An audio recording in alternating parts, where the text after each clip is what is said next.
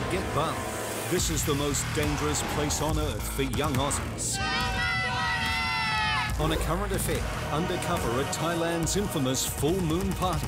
No parents, no police, no rules. Ah, yeah! Would you want your kids doing this? A current affair tonight.